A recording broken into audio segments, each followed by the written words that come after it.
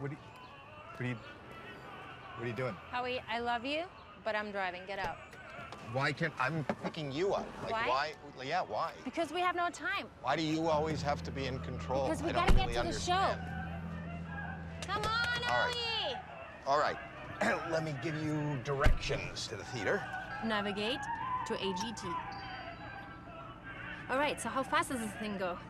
I the guy says it's like 368 horsepower. Ooh, good. Good.